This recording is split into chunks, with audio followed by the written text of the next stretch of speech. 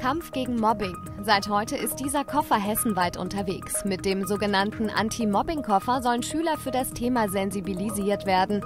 Denn bundesweit wird fast jeder sechste Schüler gehänselt. Die Initiative Mobbingfreie Schule ist ein gemeinsames Projekt der Techniker Krankenkasse Hessen und des Kultusministeriums. Mit dem können Schulen eine komplette Projektwoche gestalten und äh, Kinder können eben sensibilisiert werden, was bedeutet Mobbing überhaupt, wo, wohin können Hänseleien führen. Die Atmosphäre in den Klassen kann verbessert werden und ähm, der Zusammenhalt in der Klasse.